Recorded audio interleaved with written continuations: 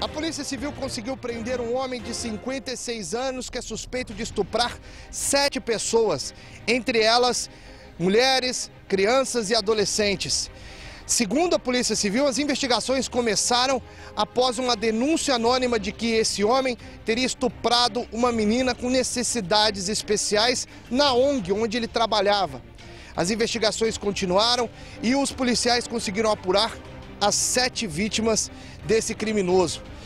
Sabendo que seria preso, ele teria fugido para a cidade de São Sebastião da Grama, que fica no interior do estado de São Paulo e muito próxima à cidade de Poços de Caldas.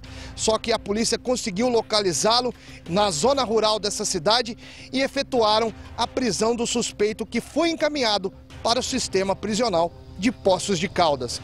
Com imagens de Vinícius Cunha, Cadu Lopes para o jornalismo da Alter